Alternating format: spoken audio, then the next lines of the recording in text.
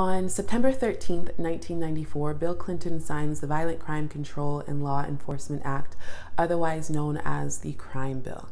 This is supposed to be his administration's mark on the war on drugs, but it is a disaster. It ends up being a complete disaster. It destroys black families, it destroys black and poor communities across the United States.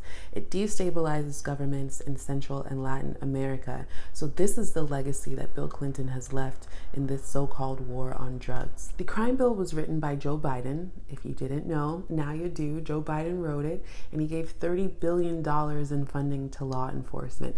$30 billion. That is a lot of money. That is a lot of money.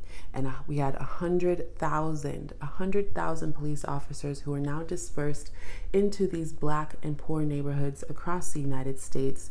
And with them, they're having federal funded, federally backed militarized training, more guns, more manpower to terrorize black communities across the country. What this meant for the city of Atlanta's police department was more federal funding for its anti-drug task force called Red Dog.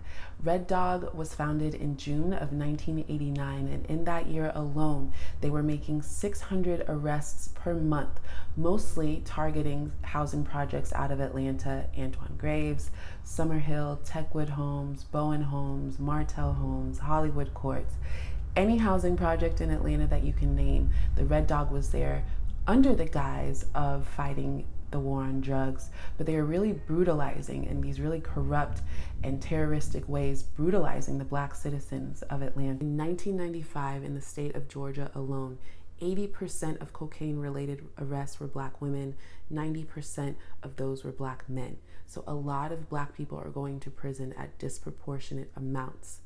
And Goodie Mob is seeing this. They are seeing their friends, they're seeing their family members. They too are risking infiltrating and moving through this whole new reality of a militarized police state in the city of Atlanta.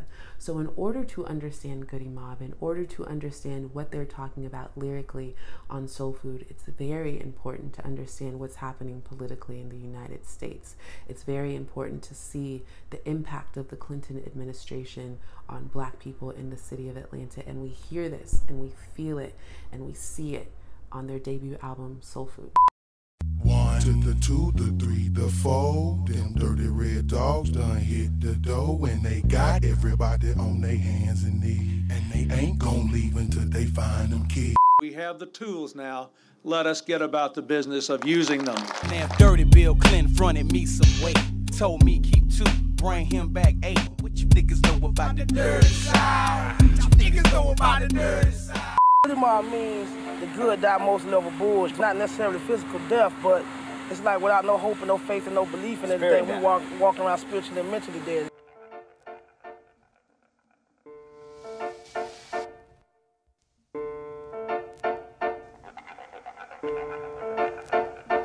The chairman of the Senate Judiciary Committee, who has fought tirelessly for this bill for six long years, Senator Joe Biden. See, Sega ain't in this new world order. Them experimenting in Atlanta, Georgia. Police watching the city. You know what I'm saying? So there's a lot of things. The cameras around the, the I-85, 285. It's on, so and it's not gonna stop.